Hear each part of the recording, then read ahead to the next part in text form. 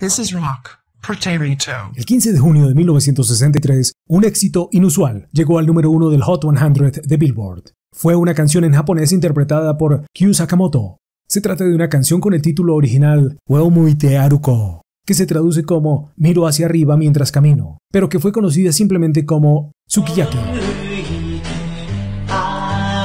La canción fue publicada en Japón el 15 de octubre de 1961 y ese año fue la canción más popular en los listados japoneses. Su éxito mundial llegó en el 63 cuando fue publicada en Estados Unidos y el Reino Unido, incluida en el álbum Sukiyaki and Other Japanese Hits.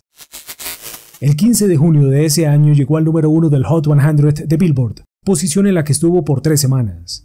Well Mute Aruko fue la primera canción de un artista asiático en liderar el Hot 100. En el Reino Unido llegó a la posición número 6 del chart oficial.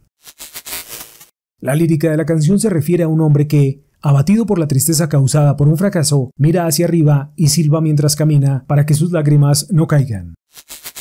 Como dato curioso, el sukiyaki es un plato japonés, en específico un estofado de carne de res. Aunque ese nombre no tiene absolutamente nada que ver con la canción, se usó en Occidente porque era sonoro y de fácil recordación para la audiencia.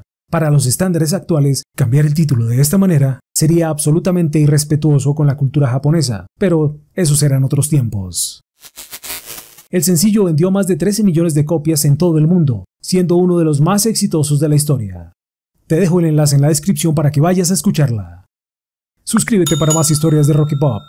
En Vitrola Estéreo, Rock Pretérito. This is rock. Potato. Vitrola Estéreo.